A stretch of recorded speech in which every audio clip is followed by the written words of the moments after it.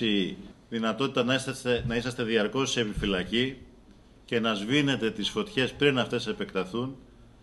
είναι νομίζω το κρίσιμο στοιχείο εκείνο που προστατεύει το φυσικό πλούτο της χώρας μας